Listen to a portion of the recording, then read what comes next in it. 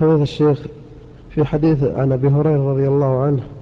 قال قال رسول الله صلى الله عليه وسلم يدخل فقراء الجنة. قبل يدخل فقراء الجنة قبل الأغنياء بخمسمائة عام. في رواه الترمذي. فضيلة الشيخ السؤال موجه في هذا الحديث هل الأغنياء يعني أسباب دخولهم بعد 500 عام من الفقراء؟ بينما أن الآن نجد وقت الحال ولله الحمد الصحوة من الأغنياء بشكل واضح وسخروا أموالهم من أجل الدين. فالسؤال موجه يا فضل الشيخ ما رأيك؟ هل الأغنياء يأخذون مثل الفقراء ب 500 عام؟ نعم. ظاهر الحديث أن الفقراء يدخلون الجنة قبل الأغنياء بخمسمائة عام أو بمدة أخرى تتفاوت عن خمسمائة عام و ولكن هذا فيما إذا تساوى المؤمن الغني والفقير.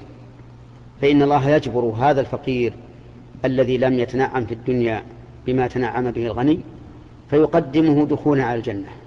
أما إذا كان الغني عنده من الأعمال الصالحة ما يفوق الفقير فالظاهر والله أعلم أنه أن الغني يسبق الفقير بحسب سبقه في العمل الصالح. ويكون هذا الحديث مقيدا بما إذا تساوى الغني والفقير. أو قال إن هؤلاء يسبقون الأغنياء دخولا ولكن الأغنياء إذا دخلوا الجنة صاروا في منازلهم التي يستحقونها فوق الفقراء إذا كانوا يستحقون منزلة فوق الفقراء والجنة درجات ولكل درجات مما عملوا.